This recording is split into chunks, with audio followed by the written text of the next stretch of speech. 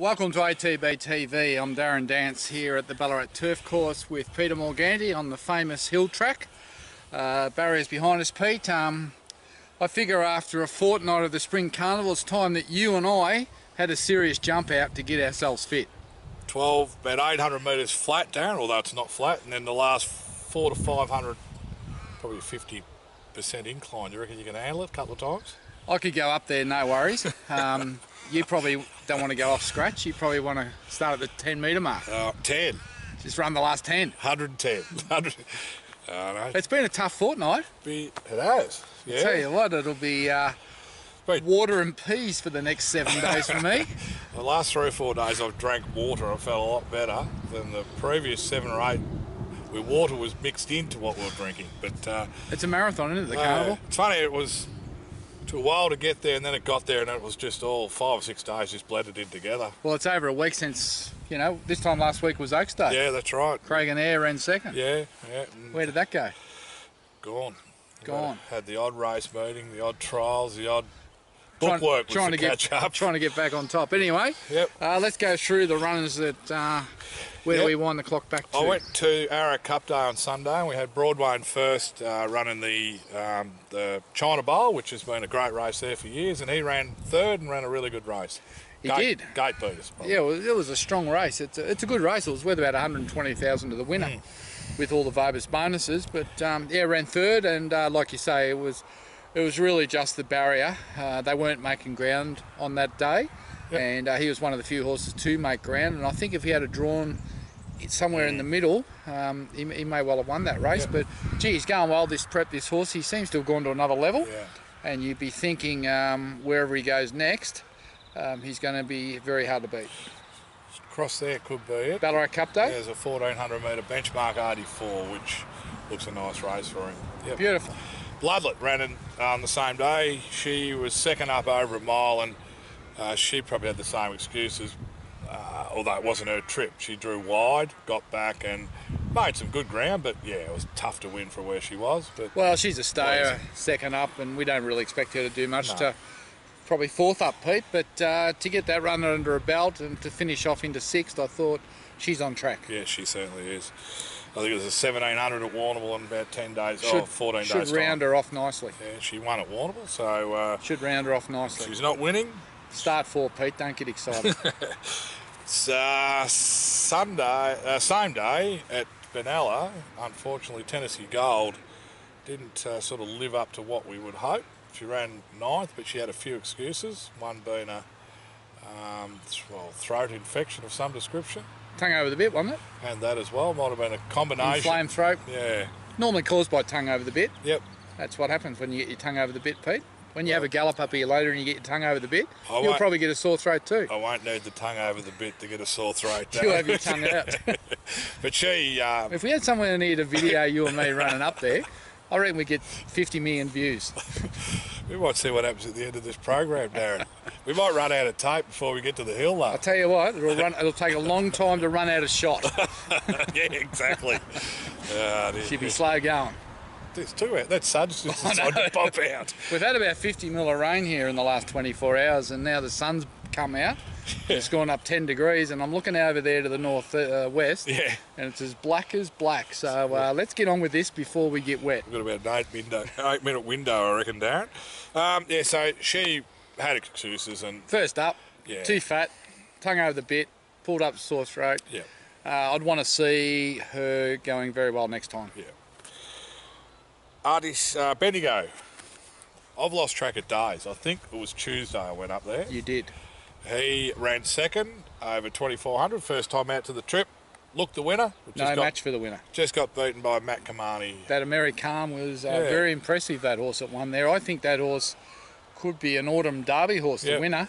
Yep. Take him out of that and we win by three. Yeah, so You know, um, our horse went good, Artisano. I know. I think he's still a season away. Yep. But um, I was happy enough with the run because he beat the rest out of sight. But that winner is something you should put in your black box for the autumn. And I think Matt is looking at the South Australian Derby with that horse. Yeah. So no disgrace running second to that horse. And I'm sure Artisano, if he gets the right conditions, the right race, he'll he'll win a maiden. But I still think he's six months away. Yeah, no, I agree. There is a 2300 metre race here, I think three days after the Cup Carnival. well, hopefully we can get a bit of give in the track. He can win it, and we can put him away and give look him, after little, him. give him a little break. Yep.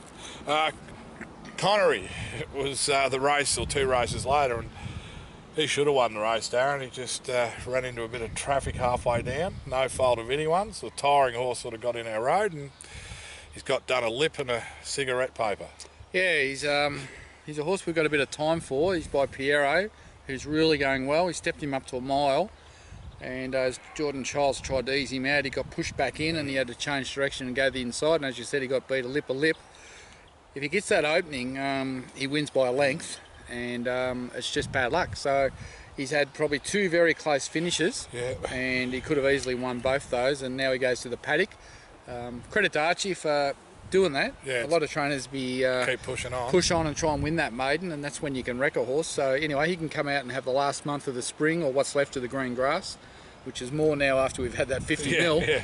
and um, he'll come back in. He'll be a good horse in the autumn, and he might even get out over 2,000, 2,400. Spoke to Geordie in the car park as much as he was worrying what you were thinking because you keep getting beaten. Um, he said exactly the same that he feels like he get 2,000. No worries. So uh, plenty to look forward to with Connery. Patience. Patience. Bart Cummings say free, but no one used it. That's Or it. Not enough people used it.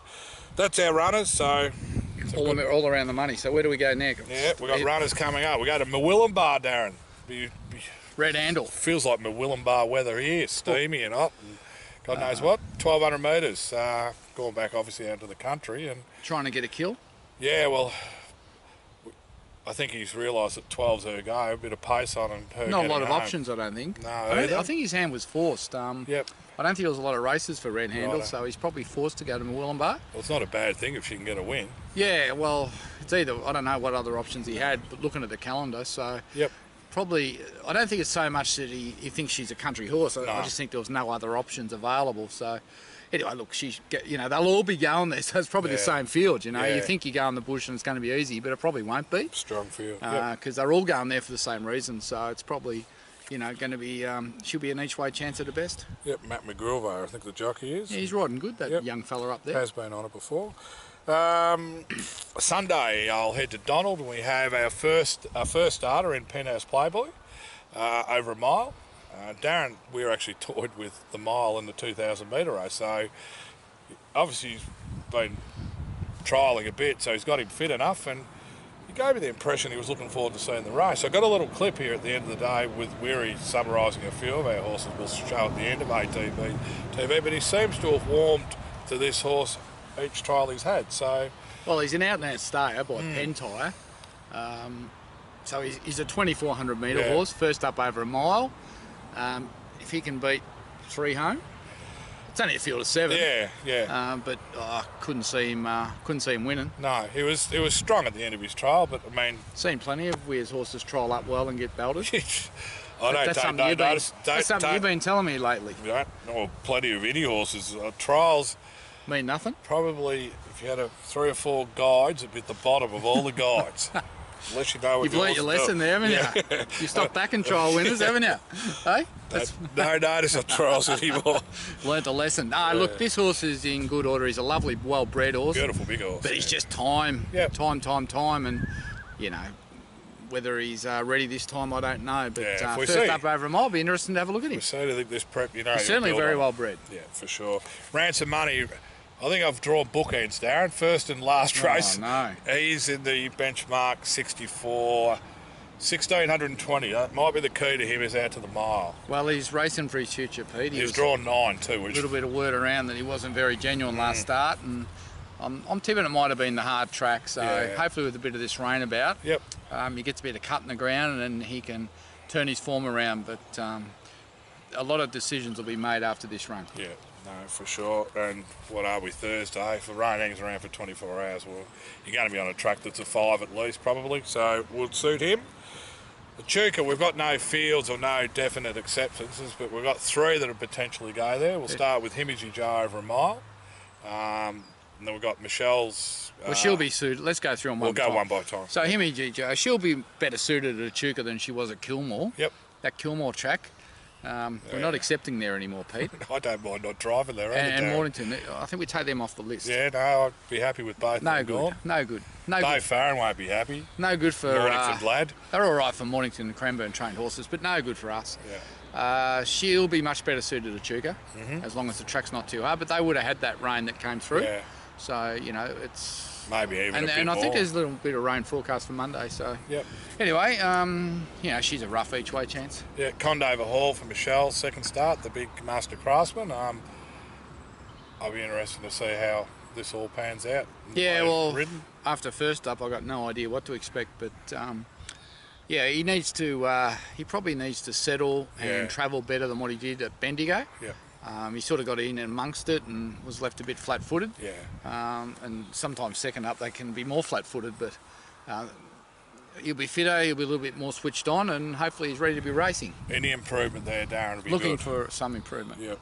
And a horse on the comeback, I'll say comeback trial, but uh, she's had a few little injury niggles as our approach. First up over 14, and um, she's been trialling up. But Darren, we just said we've got to get her the races now and just get fitness into her. Yeah, well, she's a mare. Um, where, where she won at Warrnambool last Yeah. year by about eight or nine lengths.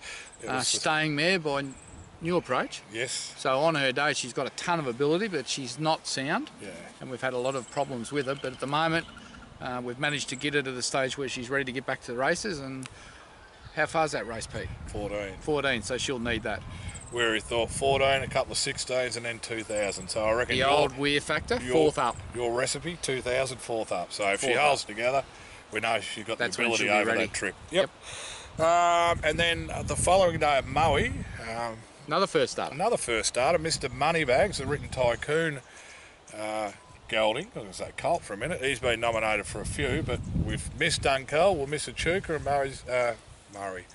Robbie's going to go to Moe with him. Robbie Griffiths, first up. Yep. Mr. Moneybags had a couple of trials. Yeah, Second trial was fairly good, Yep. I thought. yep. Horse that's got reasonable ability by the look of him. And um, yeah, he goes to Moe there and should be really competitive, I I would would have thought. thought, yeah. Got a, he's out of a good uh, running family, so um, haven't seen him in the flesh, Pete. I'm, I hope to see him next week when I'm down at Cranbourne, Mhm. uh, just to see how fit he does look before his Moe assignment. But uh, we'll save that info for the owners on We race will. morning. But um, Hopefully Jye McNeil on, who's been riding well. yeah, there's good choice of riders to ride him down there, so I think um, I'm looking forward to that horse going around. Yeah, and back to those Echuca riders, obviously, we haven't sorted them out, but Michelle will be on Condover Hall. I'll know that one, and we'll have probably choices between Yendall and Johnny Allen. Johnny Allen and all those. Yep, all good. So, So that's our it. runners? That's it. I know Wednesdays we're back to Sandown, and No Thursdays there. Mornington, which you've No just runners there. you've just banned Mornington, so No, we're not no going good. there. Strike rate at Mornington's no good. I think if you look at Mornington, you'll find most of the winners there Yeah. come out of Cranbourne and Mornington. And Cranbourne's similar with their trainers, so it's a Yep. bit of a home ground advantage there. So we can steer clear and find other tracks. Yep. Um, apart from that, not much more, Darren. We've got the Christmas party on the third, which It's there's around got a few coming. around 160 have replied. If you haven't replied, you need to get your email back to Peter. Yep, we put the hammer on a few trainers to turn up, and they look like Should be a good day. Yeah. Should be a good day. Hopefully it's not too hot and hopefully it's not too wet. We're not. We're pretty fussy. If I stay here too long, I won't be able to wear the Santa suit, Darren. so, Yeah, you, it'll, be hanging off you.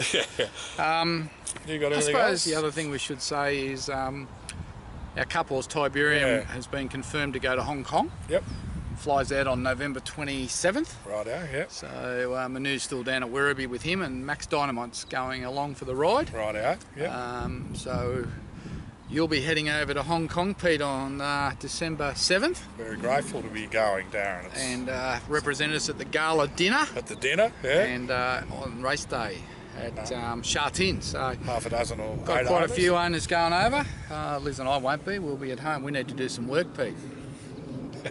need to do some work. I've got so much on. But anyway, uh, it's good for you to go over, and the No. owners, some of the owners are going over. So it's a field of, uh, I think it's only a field of 13. Yeah, and I see he's about ten dollars in the early markets. we I, won't- th- I think his chances there, um, without stating the obvious, that he needs to draw a good gate and won't get, a, draw get, a, 23. and get a better ride. But I think it depends on the, what Japanese horses end up accepting Yeah. for what he's, you know, whether he's really got a chance. But um, I'm sure, you know, he's going to run in the first four or five um, if he's held his form which he seems to have in work. But I'm going to go down next morning, uh, next week, one morning, and have a look at him work and get some fresh vision of him A Bit of footage of him, yeah. and just see how he looks now after that cup run. I know his weight's about the same now as what it was pre-cup, Righto, yeah. and he's come through the run really good. So Excellent. that's another step.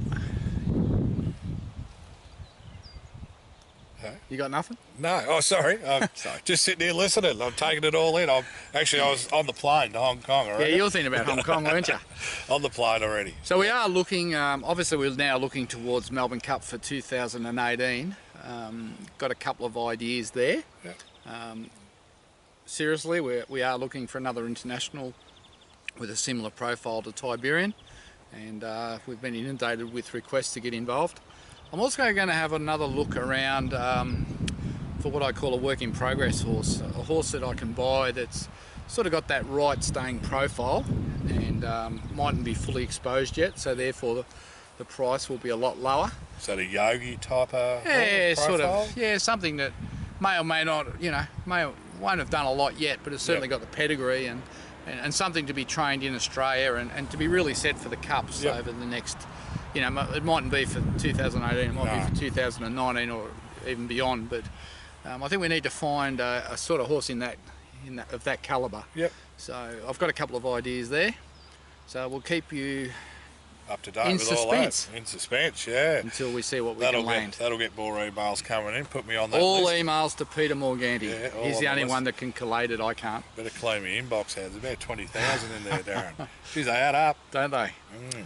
Well, um, that's about all we got. That's all I've got. Yep. Can't pick the kid up from school. You go and do your duties. Now, um, a little bit of banter on Twitter, Pete. Um, I think it's, we should show you a little uh, list here of your son Jonah. How old's he? Jonah's ten, going on twenty by the. So he made a little Santa list and um, left it on the table and went to bed. He put it strategically at a place where obviously and myself could read it. He's gone to bed. What was number one on the list, Pete? I can't remember because number 16 threw me way out the window. What was number 16 on his list? 10% in a horse, 10% in a racehorse. 10% in a racehorse. now, you made the fatal mistake of putting that on Twitter Yeah, and it went mad. and you've got a bit of feedback. I have. I've Like been, if you don't deliver on 16, you're the worst dad in the world. Yes. been offered shares in horses by the likes of Mick Sharkey and people. so it's got a lot of, uh, it's commanded a lot of attention. Um, Now, in all seriousness, Pete, I'm, really concerned for your son's future welfare. he wants to buy a horse at 10. 10. What hope has he ever got of buying a house? well, we might have someone to take over the business, Darren, in about 15 years' time. We've ruined him. Yeah, and well, Marley's not much better. No, She's- now you're working on her. Yeah, so uh, we might have the, the syndicator and the and the jockey all going together as brother and sister. Oh but- dear, very funny. so I don't know. He can have ten percent of my slow ones. I reckon. So we might, we might, we might um just. You got the copy of that list Yeah, here. well- Here's his top 16. Have a look at this. This.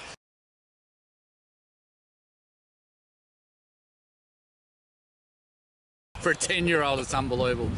Anyway, until next week, I'm Darren Dance here with Peter Morganti. Have a great week. And we'll just roll with Weary to finish it off. I've got Darren Weir here. Weary, we'll just go through our last half a dozen runners and a couple coming up on the weekend. Just uh, quickly, Captain Harry uh, turned him around with the blinkers. Yep, went a lot better. Um, beaten by a really nice horse too. Yeah. Um, so I think that form will really stand up, and um, wherever he goes next, he's going to be competitive for sure. Good sign. There was a margin back to third too. Absolutely, Yeah. Um, Broadway first here at Arrow. We're at the Arrow trials. He was terrific in that um, the China Bowl with not a lot of luck from the gate. Yeah, had he drawn a gate, he probably wins the race. Yep. Um, thought he ran well first up, trained on nicely, um, Yep. in for another good prep. Beautiful. Um, Bloodlet, she was here as well. Obviously second up over the mile, and from the gate we went back. It was hard to make ground, but she was good enough to the line. she was good enough. Yeah, I instructed Dean to follow my other horse, and he followed it to the 600. Then he elected to go around him, thinking that there wasn't any room Yeah. through them. Johnny rode through them, won the race. Had he had he followed him through, she would have finished a lot close, closer. Yeah. But it was a pass mark going forward. yeah, will she start the mile? You reckon? Oh, there's a 17 at Warrnambool. Yeah, something? 17 at Warrnambool. Get her up to 2,000 pretty quick. No worries.